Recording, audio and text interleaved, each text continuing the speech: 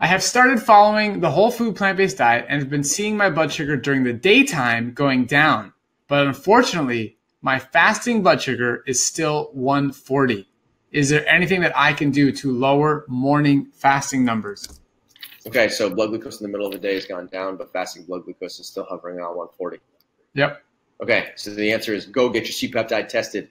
Okay, that's the first thing that you can do. If you have a low C peptide value, then what that can mean is that your fasting blood glucose can start to increase without you really wanting it to.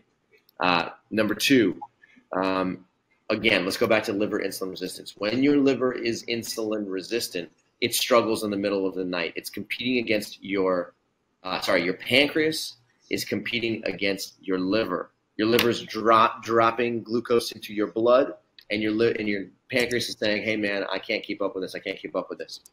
Um, in order to calm your liver down and to quiet it down so that it's secreting less glucose into your blood in the middle of the night, what you do is you improve your insulin sensitivity in your liver. So if you adopt a low-fat plant-based whole food diet and you really clean up your diet and try and minimize, eliminate your animal food intake, your liver will will secrete less glucose into your blood in the middle of the night.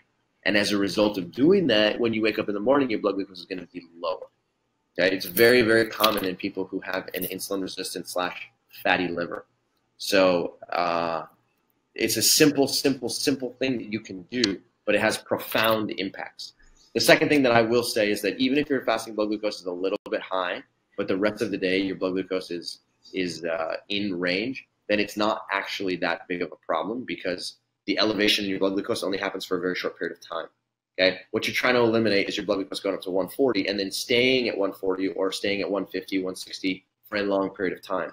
If it's literally just going up a little bit and then coming right back down, then you're protected.